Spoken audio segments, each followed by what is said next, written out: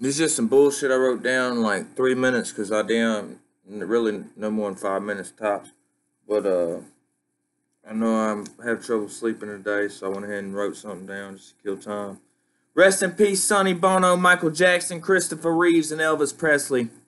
I'll chew up old MCs like a pack of red man. That was mighty big of you, Marshall, insulting a paraplegic boy bands and a dead man. Almost forgot Christina, Mariah, and Britney. Soon you'll find out. Call all your it again.